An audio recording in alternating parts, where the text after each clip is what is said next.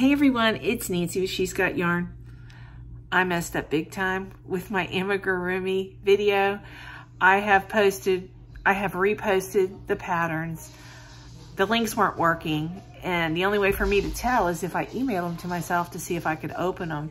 Um, I believe I have fixed everything, so um, you can go on over there and get your patterns. And I'm also gonna leave all the patterns on this video. So this is a Amigurumi War, it's hashtag Amigurumi's Wars 2022 update.